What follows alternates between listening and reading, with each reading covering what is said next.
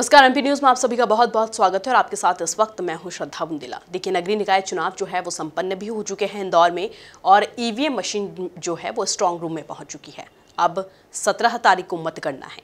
लेकिन नगर निगम चुनाव जिस दिन इंदौर में संपन्न हुए, उसकी जो घटना घटित हुई है वार्ड क्रमांक 22 में, उसकी चर्चा आज भी जोरों पर है। किसी के जहन से ये बात जा ही नहीं पा रही, क्योंकि घटना इतनी बड़ी थी कि सभी लोग इसी बारे में बात कर रहे हैं। बीजेपी हो या कांग्रेस हो दोनों ही एक दूसरे पर आरोप लगा रहे हैं। कोई भी एक दूसरे को छोड़ना नहीं चाहता और सियासत का सिलसिला भी इसमें बहुत ज़्यादा तेज हो चला है।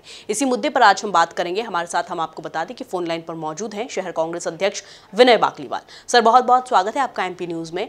आ, सर वार्ड क्रमांक बाईस में जिस तरह से घटना घटित हुई हंगामा हुआ चंदुराव शिंदे की जो गाड़ी है उसे घेर लिया गया था यहाँ तक कि एक महिला द्वारा उन्हें चप्पल तक दिखाई गई कैसे देखते हैं आप इसे? दूसरी तरफ़ मेरा सवाल आपसे ये था कि कांग्रेसियों पर जिस तरह से कार्रवाई की गई है प्रशासन की तरफ़ से क्या कहना चाहेंगे आप? नहीं मैडम ये गलत बात है मैडम हमारे जो प्रत्याशी थे राजू भदौरिया जी को उनको थाने पे बिठा दिया गया था। दो घंटे से वो थाने में बैठे थे। उसके बाद में वहाँ पर जो बीजेपी के प्रत्याशी थे वहाँ पर जो कर रहे थे तो महिलाओं में बहुत आक्रोश था। महिला ने उनको महिलाओं के साथ उन्होंने गलत व्यवहार किया गालियाँ बकी तो महिलाओं ने उनके ऊपर चप्पल उसन की चप्पल उसन की कार व्यक्ति के ऊपर के ऐसा कुछ नहीं था। ज़बरदस्ती हम रात को शाम को थाने गए हम सब लोग। बीजेपी के नेता लोग भी आए जैसे बैठ के बातचीत हो गई थी उसके बाद हम जैसे बाहर निकलते हैं उससे राजू बधेरे में तीन सौ सात का मुकदमा लगा दिया जाता है। जबकि आपको वीडियो क्लिप में हम दिखा सकते हैं राजू बधेरे कहीं से कैसे दिखा है वहाँ पर। ऐसा लग रहा है कि चुनाव भारतीय जनता पार्टी ने नहीं पुलिस ने चुनाव लड़ा है कांग्रेस से और जिला प्रशासन ने लड़ा है। ये पूरी प्रक्रिया चल रही थी पूरे इंदौर शहर में किंतु फिर भी हमारा महापौर संदेश शुक्ला चुनाव जीतेंगे। तो कम से कम हम पैंसठ से सत्तर प्रतिशत हमारे चुनाव जीत रहे हैं मैडम। हम्म। ये जनता ने परिवर्तन किया है ये परिवर्तन की लहर है। वक्त के बदलाव का आपको देखने को मिलेगा। ठीक है। सर, बहुत बहुत शुक्रिया एमपी न्यूज़ के साथ जुड़ने के लिए। तो हम आपको बता दें कि दूसरी तरफ़ हमारे साथ बीजेपी प्रदेश प्रवक्ता उमेश शर्मा भी जुड़े हुए हैं। उनसे बात कर लेते हैं कि उनका क्या कुछ कहना है। सर, बहुत बहुत स्वागत है आपका एमपी न्यूज़ में।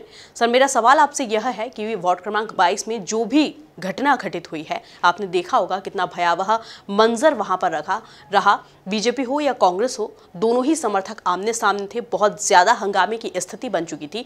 लेकिन यहाँ पर कांग्रेस का ये आरोप है कि जो प्रशासन की तरफ़ से कार्रवाई की गई है वो बीजेपी के दबाव में की गई है कांग्रेसियों ऊपर नहीं जो दृश्य वहाँ पर उपस्थित हुआ वो दृश्य तो बहुत डराने वाला दृश्य था।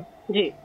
और केवल इंदौर नहीं मध्य प्रदेश में भी इस तरह का हिंसक नज़ारा चुनाव में अमूमन कभी दिखाई नहीं देता है। और विशेष हाँ। करके इंदौर तो बहुत शांति प्रियता के साथ मतदान कराने के लिए जाना जाता है। बिल्कुल। जिस प्रकार का प्राण घातक हमला किया गया जिस प्रकार भारतीय जनता पार्टी के प्रत्याशी को जान से मार देने का प्रयास हुआ और अगर वे कार से उतर जाते तो ये तय था कि उस समय बहुत दुर्भाग्यपूर्ण परिस्थिति निर्मित हो सकती थी।